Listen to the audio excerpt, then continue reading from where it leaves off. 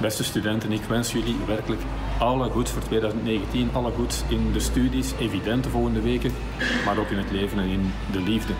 Ik weet dat ik met die wensen misschien wat laat kom, maar dat heeft één heel groot voordeel, namelijk dat is dat ik jullie niet alleen een gelukkig nieuwjaar kan wensen, maar ook natuurlijk meteen alle succes aan de vooravond van de examens, want die komen nu wel heel erg dichtbij. Werk hard, maar rust ook goed. Zoek focus, maar help elkaar ook wanneer het nodig is. Geloof in je mogelijkheden, maar laat het niet leiden tot zelfoverschatting. Toen ik student was, lang geleden, had ik een vaste routine. 50 minuten studeren, heel geconcentreerd, en dan 10 minuten alle remmen los op mijn favoriete muziek.